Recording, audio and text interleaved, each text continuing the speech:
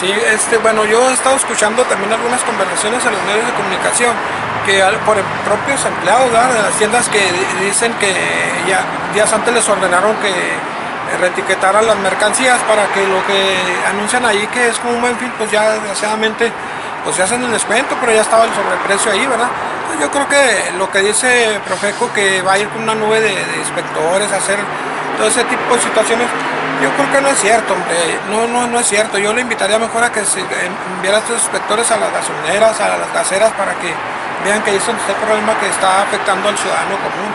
No, no es cierto, hombre, no hay, no hay por qué, porque yo creo que el buen fin no va a ser un buen fin como se esperaba, porque no, no alcanza ahorita la economía para hacer ese tipo de, de lujos o despilfarres económicos. Ya este, la gente no creo que vaya a acudir a centros comerciales a comprar un aparato costoso o algo, que lo den a un buen precio, porque no, no tienen ese dinero ahorita. En la actualidad la economía de los mexicanos está por los. Pues la, la, competencia sigue siendo muy... Estados Unidos sigue siendo todavía... Eh, sí, lo que, pasa, lo que pasa es que Estados Unidos sigue siendo también la competencia, porque el, la gente confía más allá, aunque el dólar es un poco caro, porque aquí si nos vamos a comparar precios están en igual de condiciones, pero no se tienen las más garantías de allá del respaldo de las autoridades para en caso de que si el aparato o la prenda salga defectuosa, pues el cambio se haga inmediatamente.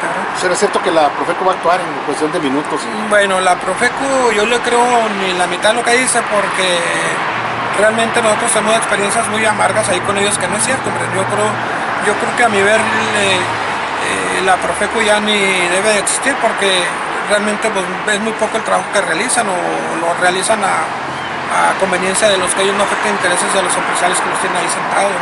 Yo creo que es más, yo invitaría a las autoridades a decirle que ya es tiempo de cambiar al, quien está al frente para que venga otro y haga más el trabajo, porque aquí este, vemos que es el mismo y con las mismas. Este, nosotros vemos, no puede ser posible que vaya una persona a anunciar al gas, al agua o a la comisión y estén las mesas de trabajo ahí de esas para estatales o monopolios envían directamente a la mesa de trabajo, entonces ¿para qué está Profeco? Si de ellos se van a aprovechar de ellos momento que lo sientan ahí en la mesa de trabajo, Yo creo que no, no, realmente lo veo yo de, pues, en cierta forma de mentiroso, por así decirlo. Ir a perder el tiempo con Ir a perder el tiempo, yo le digo, eh, honestamente, yo ya antes acudí ahí con algunos asuntos, pero realmente, pues así como lo está haciendo, no. Yo creo que el que quiera demandar, pues vamos a demandar.